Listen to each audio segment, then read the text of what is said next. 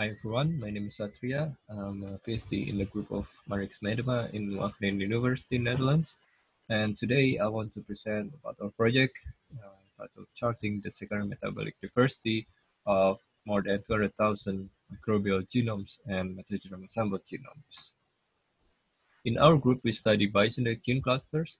So those are uh, distinct features of microbial genomes of which genes that encode for proteins that in turn will act as enzymes and fold together in a single metabolic pathway are found to be uh, commonly clustered together or uh, next to each other in the genome. And this makes us able to uh, develop computational tools to uh, basically do genome mining uh, to try and predict all the secondary metabolites that uh, an organism may encode in their genome.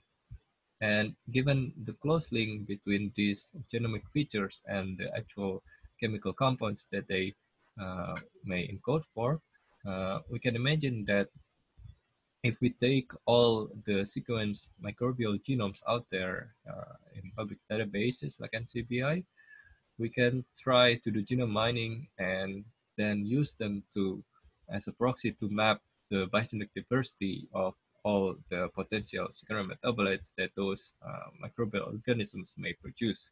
So here we take uh, around 200,000 uh, genomes from NCBI RefSeq along with some 20,000 MAGs from uh, multiple uh, published studies and we uh, predict their BGCs using uh, a tool called AntiSmash uh, version 5, uh, along with some 2000 BGCs known and experimentally verified BGCs from the MIBiG database. And we end up with a total of around 1.2 million BGCs from predicted from those genomes. And in order to chart this binary diversity or measure this binary diversity, what we do is we perform large-scale homology analysis. So we group all the similar BGCs into what we call uh, gene cluster families or GCFs. And uh, we do this using uh, our newly developed tool called BigSlice.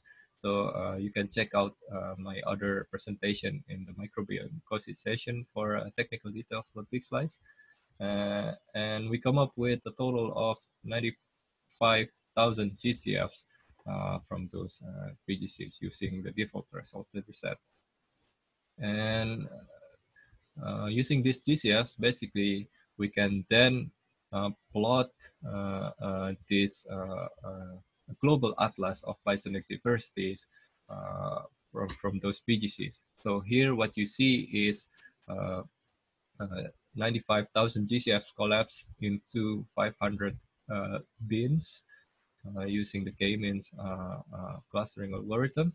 And from here, you can see like all the uh, like maps or pattern of uh, the more generic compound classes like polyketides, NRPs, RiPPs, or alkaloids and terpenes, etc but also you can you can see the distribution uh, of uh, those unique uh, BGCs or biosynthetic uh, potentials across datasets and across taxonomy. For example, here you see uh, on this orange plate, BGCs, polyketide NRP BGCs exclusive to the fungal genomes, which are actually pretty distinct compared to the bacterial ones. And you can also use this result to uh, try and measure really how much out there uh, are uh, the underexplored BGCs. So here on these orange dots, you see the uh, GCFs uh, closely related or includes uh, the known BGCs from MIBiG. And actually there you see that more than 95% of the BGCs and GCFs out there are still uh, distantly related uh, from any known BGCs from MIBiG. And some 3,700 of them of the GCFs are actually exclusive to the metagenome assembled genomes. And one of those BGCs are you, you can see here uh, from the Tara Ocean dataset, you can see this uh, NRP polyketide hybrid BGC with a pretty complex multimodular structure, uh, typical uh, of the known BGCs you can see in the MIBiG database. And you can also use this result to try and uh, uh, see the, the basically the most productive species and genus uh, in terms of the unique BGCs and uh, secondary metabolites that they can produce. And here you can see that aside from the uh, uh, uh frequently sequenced pathogenic bacteria and fungi, you also see the, the classic secondary metabolic producing um, species like Streptomyces. And here you also see that aside from the Streptomyces genus, for example, in bacteria, you see also the Nocardia and the Amycolatopsis genus uh, having uh, also like a potential to produce a lot of unique TCRs.